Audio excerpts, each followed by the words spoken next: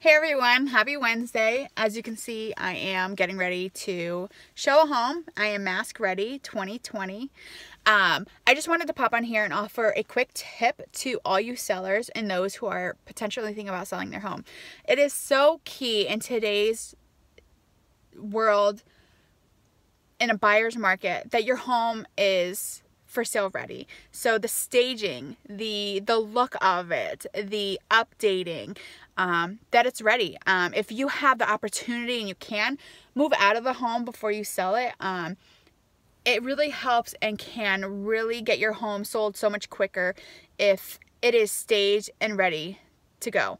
It's so important for a client, for someone who's looking and buying a home, that they can walk in and really picture themselves, their family, buying the home that you are selling. It is so important to just have your home clean and neat and staged, ready to go. Um, I just wanted to offer all you sellers that quick tip. A lot of people don't have the opportunity, the finances, the funds to be able to do that, and that is okay. And if you can't, just get it ready. Just clean it, make it neat.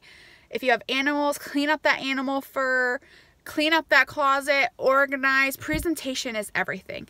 And that's what I have for you guys today. Happy Wednesday. Have a great day.